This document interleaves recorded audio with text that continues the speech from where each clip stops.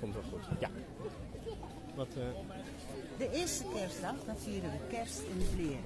ja? We hebben een soort uh, kerstdiner. Mijn man heeft Alzheimer en met de bewoners van zijn afdeling gaan we dan uh, kerst vieren. En de tweede kerstdag... Nee, eerst gaan we s'morgens nog naar de kerstdienst in Amerika. Een katholieke kerk. En dat is een hele blije, vrolijke kerstdienst. Voor de jeugd. Ja. De jeugd wil helemaal niet naar de kerk. Ja? Maar om de jeugd erbij te betrekken.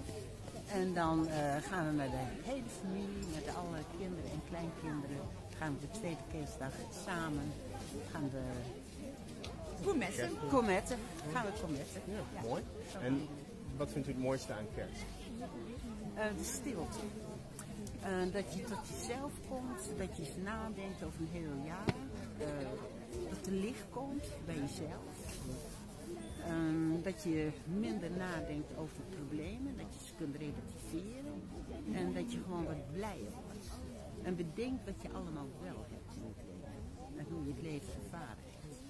Nou ben ik vrij positief van instelling. ik Dat- hoop dat hoor ik, ja, dat is wel- Dat zo te blijven. Ja. Want ik heb het natuurlijk niet gemakkelijk gehad de laatste Nee. tijden dat mijn man opgenomen is. Ja. Maar ja, je moet het leven nemen zoals het tot je valt. Ja. En dat ervaar ik ook heel duidelijk. Maar daarbij heb ik heel veel steun Van, van Ja, ja, ja, ja. En van mijn kinderen. Ja. En eh, Heel- ja, daar ben ik toch heel dankbaar voor alles wat je nog hebt. Mooi. En dan vooral zo'n moment als dit, zo'n Ja. tijd rond deze tijd van eind van het jaar, dan terugkijken en dan kijken van... Het leven toch niet Nee. Alleen je moet iets van weten te maken.